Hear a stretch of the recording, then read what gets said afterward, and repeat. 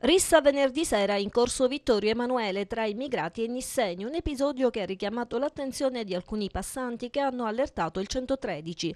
Giunti sul posto, i poliziotti della sezione volanti hanno trovato un immigrato disteso a terra in stato di incoscienza e con il labbro sanguinante attorniato da numerose persone. L'uomo, un 27enne iracheno richiedente protezione internazionale, è stato soccorso e condotto dall'ambulanza al Sant'Elia. Alcuni testimoni hanno riferito ai poliziotti che poco prima l'immigrato era stato aggredito da quattro persone persone vicino ad un bar della zona, fornendo anche una loro sommaria descrizione. Scandagliate le pattuglie in città, in via Consultore Benintenti gli agenti notavano due giovani, un 26enne e un 28enne, già noti alle forze dell'ordine. Fermati, identificati e sottoposti a perquisizione personale con esito negativo, i due riferivano ai poliziotti che nel corso della serata erano stati avvicinati vicino a un bar dall'immigrato visibilmente ubriaco che aveva tentato di aggredire uno dei due con un bicchiere rotto, costringendoli così a difendersi. L'iracheno che non ha riportato lesioni è stato dimesso l'indomani mattina dopo aver smaltito la sbornia.